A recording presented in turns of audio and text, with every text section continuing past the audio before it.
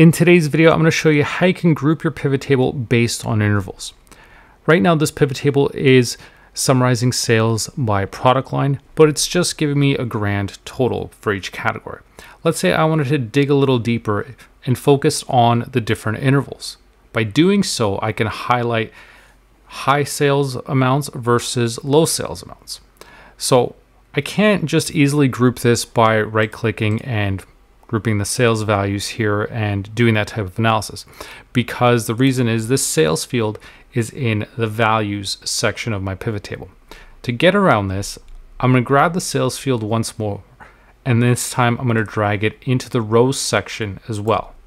And once I do so, I mean, this may look a little bit funny, but what I can do now is right click and click on the option to group these values.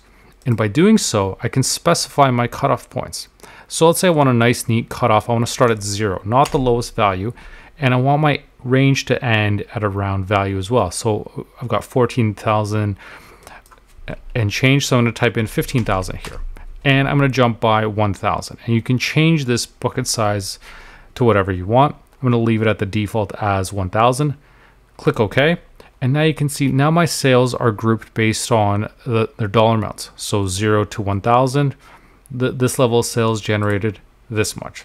This gives you a lot more insight into your data set by being able to focus on these different types of intervals and changing these buckets however you want or however however you want to group your sales. So if I want to go back and right click, let's say group this, but let's say jump by 5,000 at a time, I can do that as well, change that.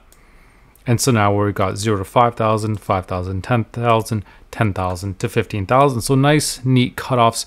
And this makes it a whole lot easier now to analyze your pivot table rather than just looking at the sheer grand total for each category.